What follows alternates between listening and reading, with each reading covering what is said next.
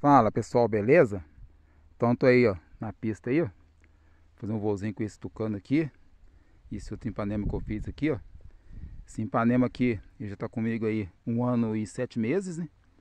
Então tá aí pra ver que tá bem conservado. Tá bem conservado aí ó, um ano e sete meses, tá bem conservadão né? A eletrônica é a mesma até hoje, não troquei nada dele Graças a Deus. E eu fiz esse tucano aí ó. Ele tava com uma asa aí de 1,40m. Eu fiz uma outra asa para ele. Essa asa está com 1,60m.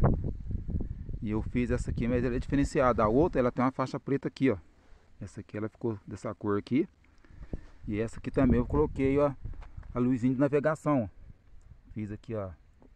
Vou colocar o LEDzinho. Aqui, ó, farol. Farolzinho dele aqui. O LEDzinho do lado vermelho, do outro lado verde.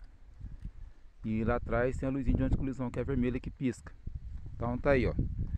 Esse é o tucano que eu fiz e tá com a asa aí de 1,60. Esse Ipanema aqui também tem uma asa de 1,60m. Então ele tá com um ano e sete meses aí, perfeitinho aí, ó. Hoje tá ventando um pouquinho aí. Vamos tentar fazer um voo com esse tucano aí pra ver como é que vai ser o voo dele aí com essa asa de 1,60m.